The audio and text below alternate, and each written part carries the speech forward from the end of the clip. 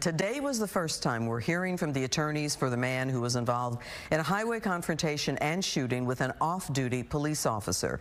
Fort Worth officer William Martin was in his personal vehicle when police say he confronted and shot Samuel Christopher on September 3rd. Fox 4's Dionne Anglin has more from Fort Worth. Dionne. Hi there, Clarice. That is exactly right. We are hearing more now about the incident that has a Fort Worth police officer facing criminal charges for his off-duty actions. The attorneys for the man who was injured are telling his side of the story. Officer Martin, while out of uniform and driving his personal vehicle, cut in front of Mr. Christopher in the far left lane of southbound I-35W during rush hour. Attorney Doug Hafer released this photo of the truck his client, Samuel Christopher, was driving on September 3rd when he was injured during a traffic shooting with off-duty Fort Worth police officer William Martin. After the Fort Worth PD major case unit investigated, Martin was charged with aggravated assault with a deadly weapon. Officer Martin got out of his vehicle and immediately advanced towards the driver's side of Mr. Christopher's vehicle while pointing a weapon at him. Officer Martin did not display a badge or otherwise identify himself as a law enforcement officer. There was no way for Samuel Christopher to know that the person pointing a weapon at him was a Fort Worth police officer. The attorney's on-camera statement, with no opportunity for follow-up questions, summarizes Christopher's account of what happened.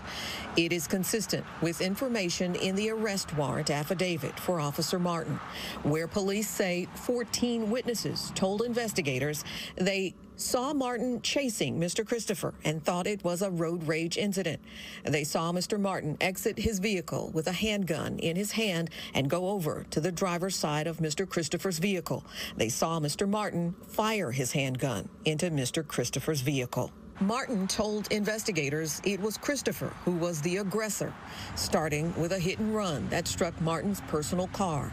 The officer explaining he pursued Christopher after perceiving him to be a threat to public safety.